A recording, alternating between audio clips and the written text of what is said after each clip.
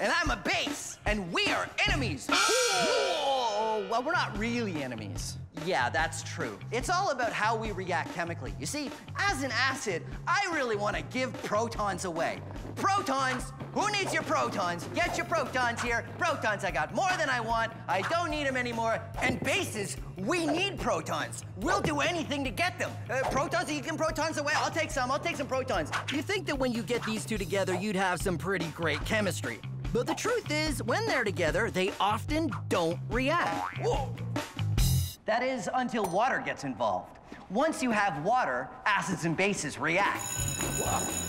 Here, take some protons. All your bases belong to us. Here you go. Take some protons. I don't need more. I want more. I want have more some protons. Here. Water is a solvent, allowing the chemical reactions to take place. Depending on the strength of the acids and bases, that reaction can be mild. Would you like a proton? Oh, no, really. I could. Please, please take it. Oh, well, thank you. That's very generous. Have another. No, perhaps, maybe I will. Here's Yes, one. Okay, um, maybe just one.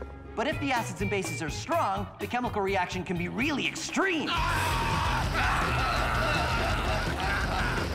This is what's going on in the antacid tablet, and why, without water, Nothing happens. Oh, water! Water! Come on! What'd you do? What?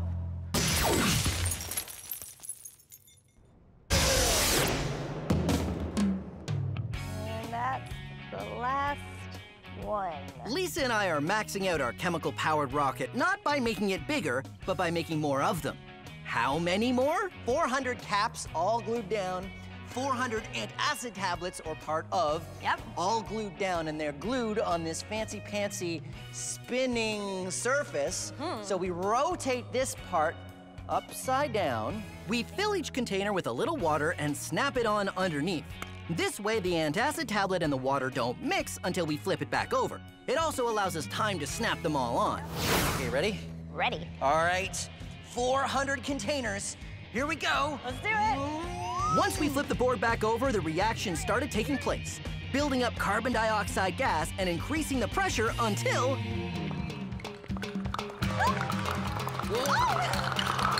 What do you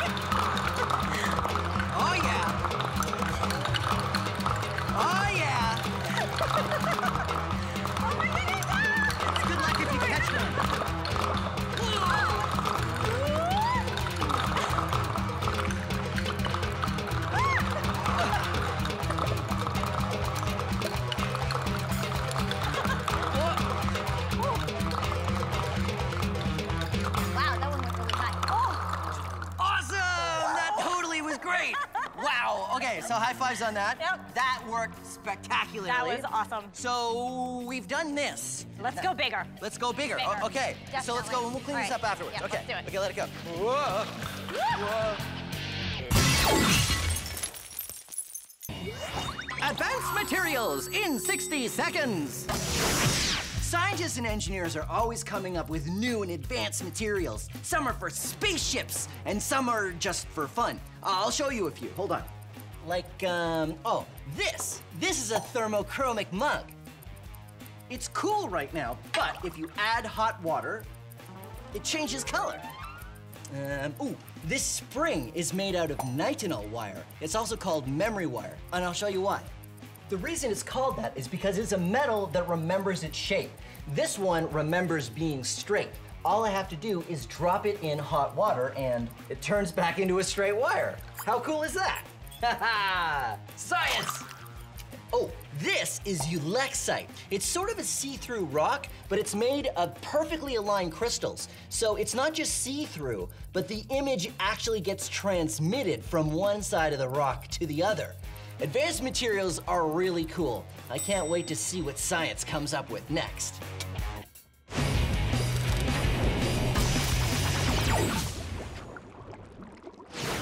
Now it is time to talk about an amazing natural polymer. It is hagfish slime?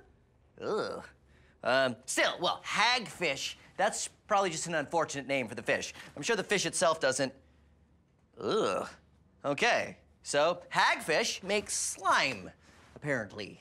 When a hagfish is attacked by something that wants to eat it, like a shark or an eel, it secretes a tiny bit of a natural polymer.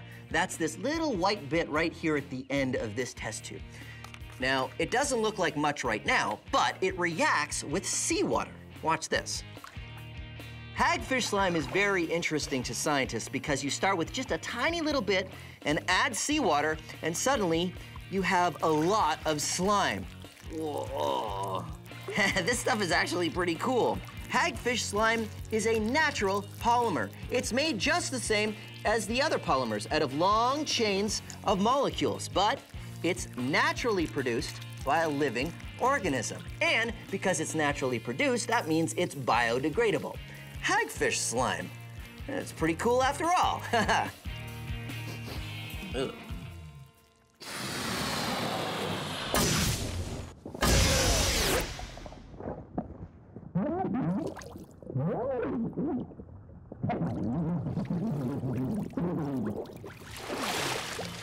ended up in the water again.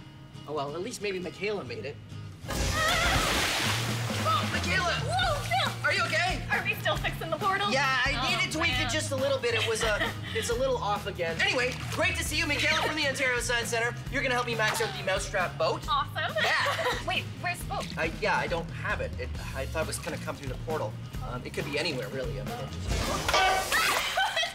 What? Oh, here it is. Okay, good. So here is the mousetrap boat. Check it out. So got a mousetrap here, right? And you wind up the paddle wheel, and it goes. Yeah, right on. Awesome. So what do you think we should do in order to max this out? Uh, well, first idea, I'm just thinking more mouse traps. More mousetraps. So we just make a boat and it has like N mousetraps on it. At least. Okay, great. Actually, I had mousetraps. I had mousetraps coming through the portal as well. Okay. Oh. Okay. Okay, we're all right. Okay, so now we've got the mousetraps. We can start building. Let's collect them carefully, though. I don't know if they're.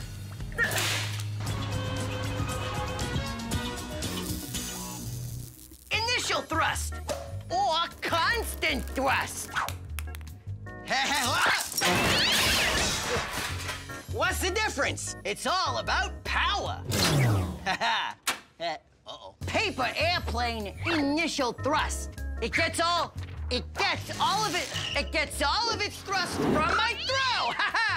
initial thrust. If you want constant thrust, you have to take the thrust with you, like this. There's a lot of cats in here. Initial thrust. Initial thrust. Initial thrust. All the energy is put into the beginning of the. All the energy is put into the beginning. If you want constant thrust, then the thing has to produce power while it's moving. Wind up car, constant thrust. Actual car? Yeah, that's constant thrust because you have an engine. Of course, not this car. This is this is a toy car. But but you know what I mean. Check out this fishing rod, and on it I have a lure with a hook. Now watch this. I cast it out, initial thrust, but then I use the reel and start winding it back in. Constant thrust, huh? Huh? Two thrusts in one. And now you know the difference between initial thrust and constant thrust. Hey!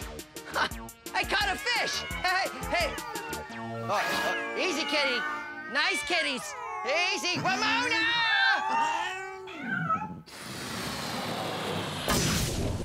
Oh, hello there. Uh, whoa. Uh, here's a fun science experiment you can do with science and friction together. Take two books, put them on top of each other, and pull them apart. Ooh, not too much friction. But if you take the books and you interleave some of the pages, maybe three or four parts, and try it again, pull them apart, they're a little harder to pull apart. That's because the friction for more pages touching each other actually starts to add up. So, what if we were to take two books with a lot of pages and very carefully and meticulously take each page individually, one at a time, and overlay each one and go back and forth? These are two books completely shuffled together. The elastic band is actually just to hold the covers together. All right. So, now the friction between all of these pages, when I try to pull it apart, makes it pretty much impossible. Now, there's two things going on here. First of all, when you start to pull the books apart, the pages start to stick together because they squeeze together because you're pulling and they're squeezing. And the fact that there's so many pages sticking together, the friction builds up to a degree that is actually very impressive. But don't take my word for it, let's max it out. Here is another two books, elastic just to hold the covers. This one clamped to the wall, and I'm gonna pull on this one.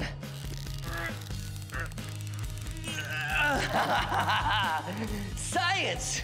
Still don't believe me? Well, let's max it out some more.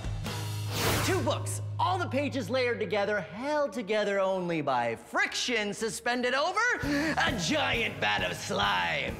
Now, let's see how much faith I have in science.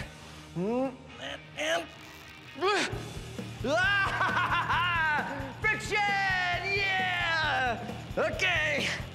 Okay, oh no. Okay, now to get down. Okay, hold on. And then.